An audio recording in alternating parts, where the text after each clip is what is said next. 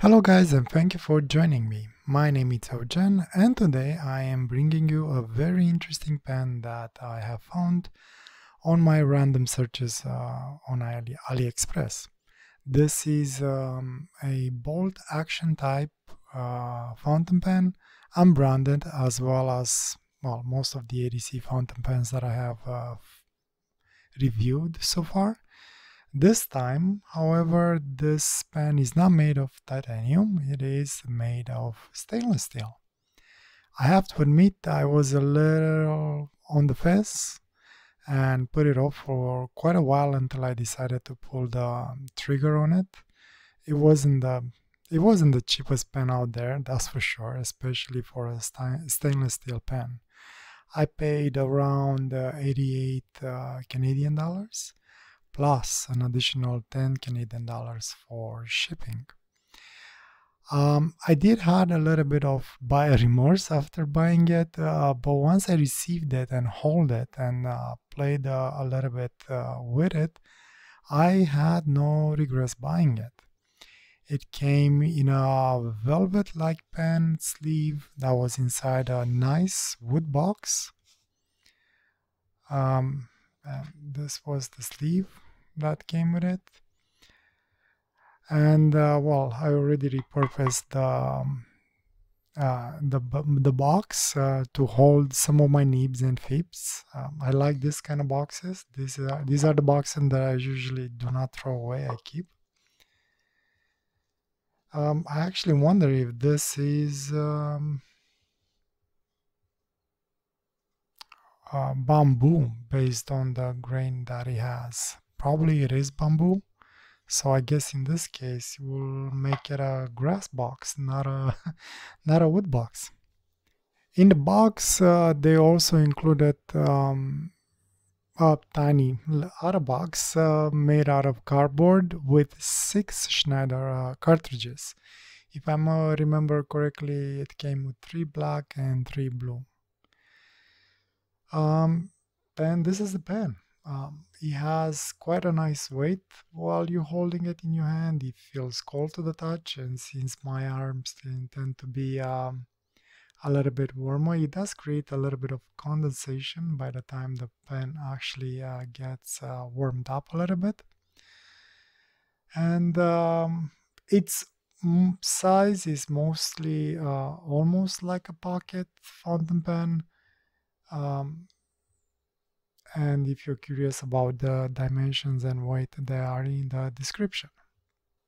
Going through the fountain pen, as you can see at the end it has a loop. Uh, I assume it's either its purpose it's either for using it on a putting the pen on a keychain or keychain line stuff or having it uh, around something that's secured to your bag or in your bag or I assume to keep it around your neck if that's what you want.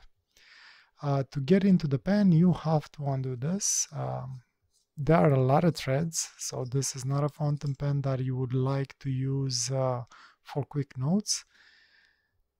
And uh, the construction is fully stainless steel, no plastic inserts. And once you remove this, you'll have to put it somewhere securely because, well, the pen doesn't actually post. And you will see that there's a, a big gaping hole with a nib inside of it. And to slide it um, out, you have to use this. And that's where the ball, uh, the action, the bolt action comes. You have to press, slide, and release. And this is the fountain pen.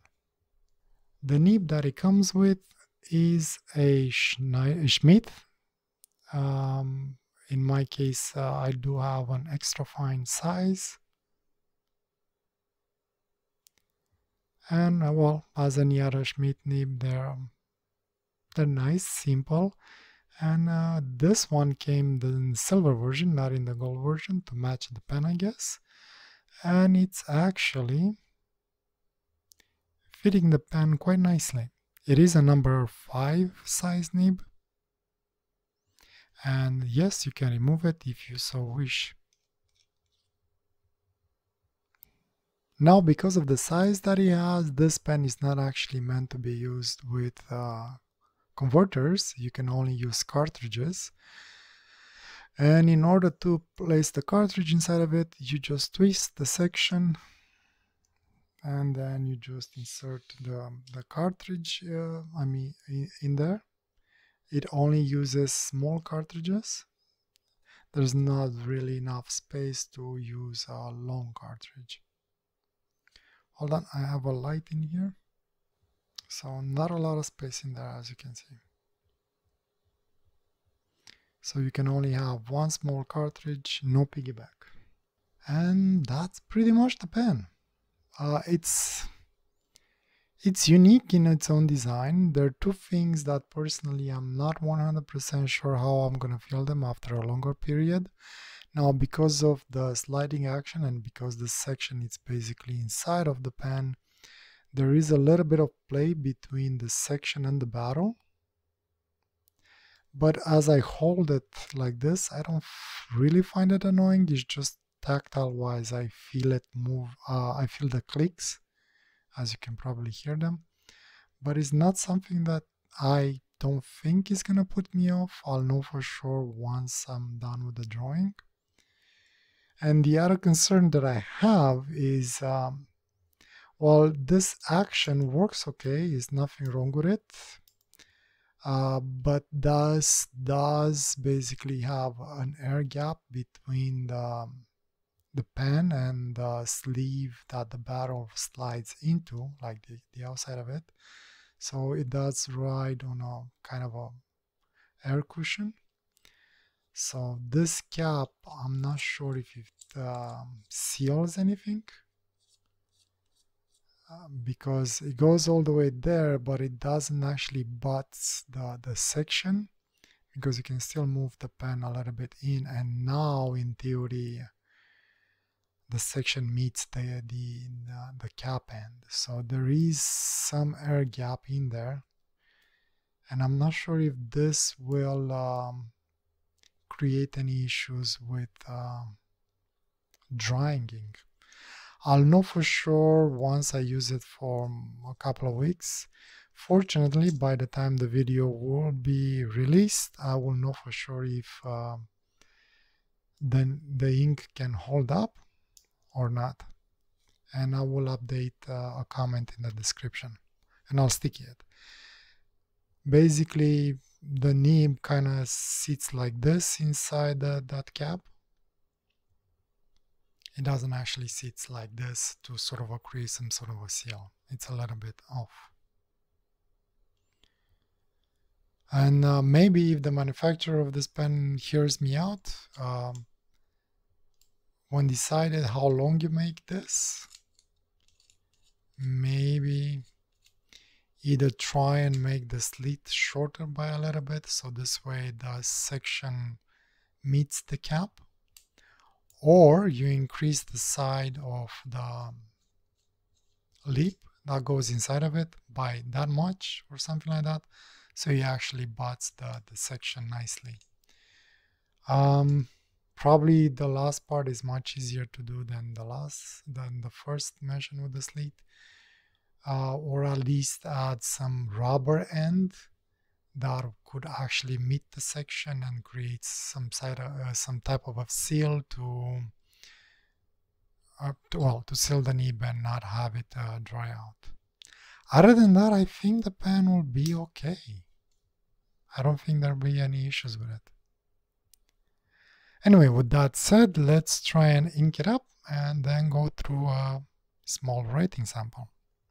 Now to ink it up, like I mentioned, um, it's fairly simple. All you need is one of these. And what I have in here, it's a Schneider cartridge, which is like an international standard as far as I remember. It came with the pen. It's black. I believe I used one of these in the past in one of uh, the other EDC fountain pens that I had. Yeah, it's very simple. Just remove the section, right? Grab your cartridge, push it if you can.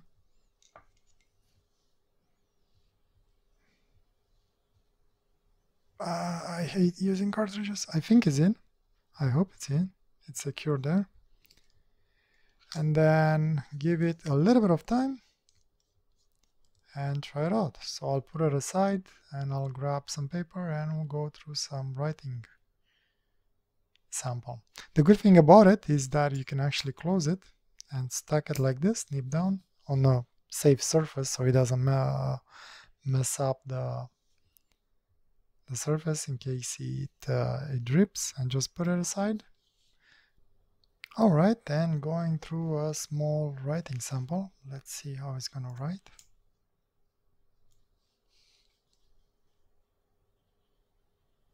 Okay, ink seems to flow.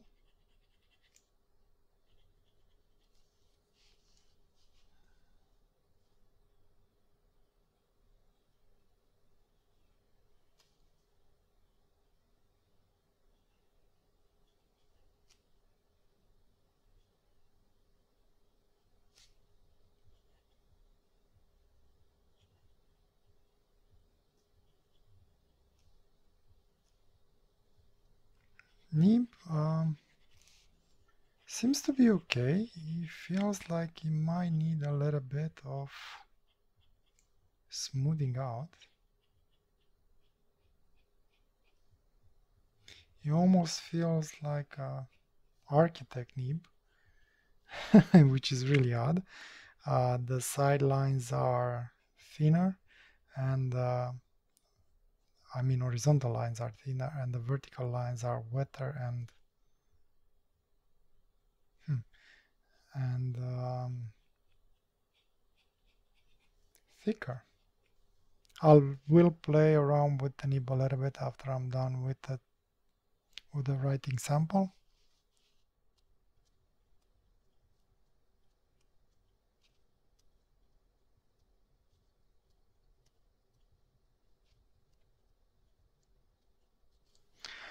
Okay, so the pen feels nice. I do think I'm gonna make a little bit of work on this nib.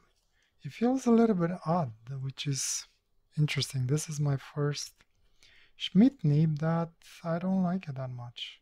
It has a weird inconsistency to it. Maybe it needs cleaning between times and maybe just a little bit of smoothing. I'll do that before I'm actually gonna do the drawing. For today's drawing, I uh, was planning to do something very simple. Uh, I'm gonna be doing a flower, not really inspired from one of my pictures. This is something that I've seen online. I don't want to post the picture because it was a Google search when I uh, found the, uh, the, this picture and I can't find the actual uh, source so i can't give the credit and such i don't want to get in trouble. But what i really liked about the, uh, the the the actual flower which i have no idea what it is is that it had uh, ribs on the petals well ribs like looking lines and uh, it almost looked like it was um, contoured uh, hashed. And that's what i'm gonna try and sort of do is like and then just really dark uh, in the center and uh, around the flower. And I wanted to keep it simple because I don't remember how well this uh, ink in the um, cartridge performs. So hopefully I'm not gonna get any kind of weird, um, uh, what do you call it, uh, stripes. Anywho, I'll get into it and we'll see what's gonna happen. Again, like usual, I have no idea how it's going to look like, but we're going to find out together. And I'll let you know what I found annoying or not as I'm going through. Alright, let's get to it.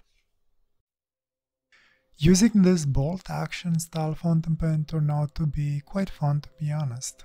The uh, only thing that really kind of annoyed me was the nib. To my surprise, the nib was misaligned and it needed a little bit of smoothing to get it uh, writing properly. The tip of the nib seems to still have a small defect on it and will require a little bit more work uh, whenever I get the time to do it. But for this drawing, uh, I managed to get it working to an acceptable level. If I uh, pressed a little bit too hard on the nib, it would actually dig into the paper and get fibers between the tines. Not sure if the nib was a factory defect or was damaged during the assembly by whoever built this pen. All I know is that for me this is my first issue I have ever had with a Schmidt nib.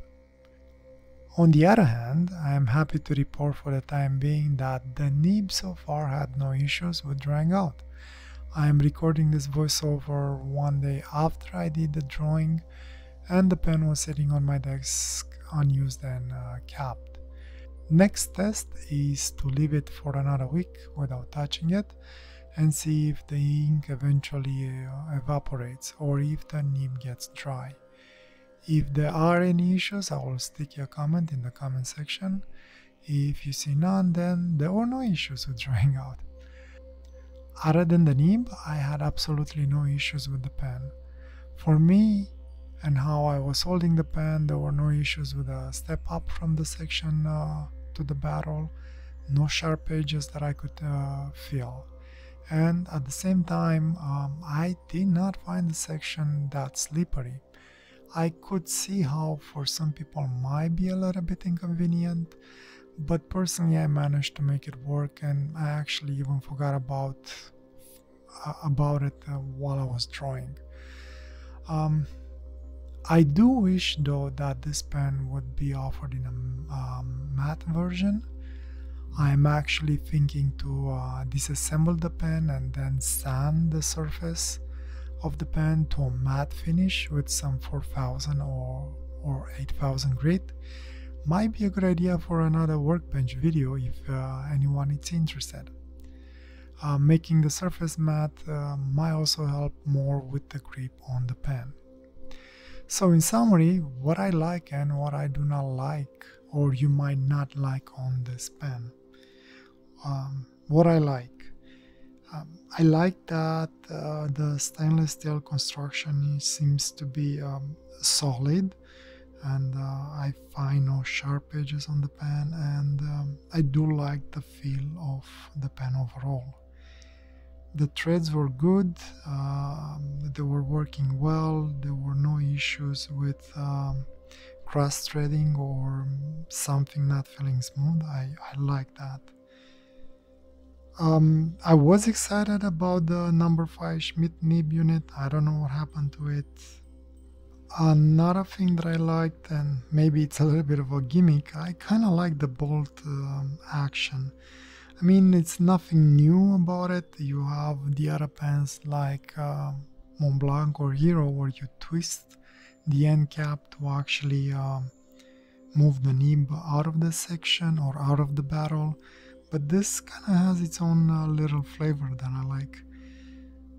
And uh, I guess there's uh, also the idea that this is a true EDC fountain pen.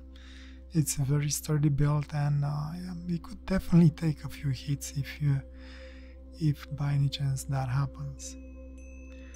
What I don't really like about it that much is that one, and I, I find it the most annoying, that unfortunately it's using cartridges. I mean, I understand because of the size you don't really have much of an option, but I wish there would be a better solution for it. I don't know what, but personally I don't I'm not too crazy about cartridges.